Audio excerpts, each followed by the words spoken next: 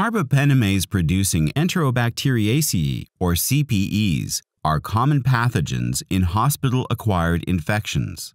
CPEs produce enzymes that fall into three most common types, KPC class A, NDM class B, and OXA48-like class D carbapenemases. The production of these enzymes causes the bacteria to be resistant to most beta-lactams, including carbapenems, making them a major clinical problem. To determine the prevalence of such antibiotic-resistant bacteria in Korea, Dr. Wongkyun Song and colleagues tracked the presence of CPE isolates at five Korean hospitals throughout 2015.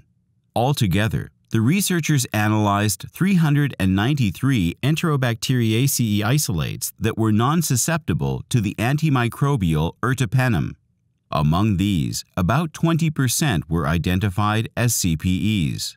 While all three types were present, there were substantial differences among the five hospitals, with two experiencing an outbreak such as KPC2 and OXA232, and one with no CPEs.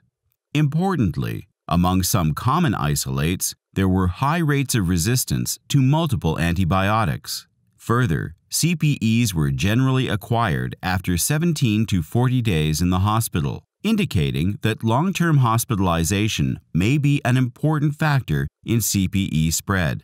Together, these findings indicate that CPE dissemination is at an early endemic stage in Korea. However, larger surveys are needed to closely monitor the situation and control the spread of these hospital-acquired infections.